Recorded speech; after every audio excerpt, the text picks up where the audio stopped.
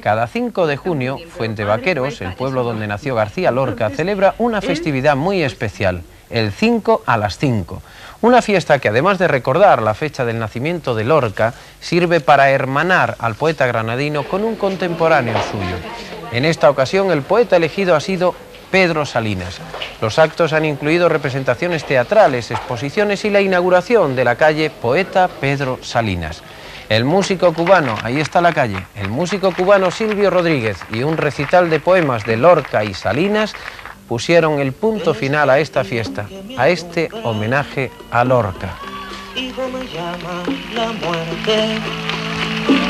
y así repite mi suerte entre penumbra y penumbra.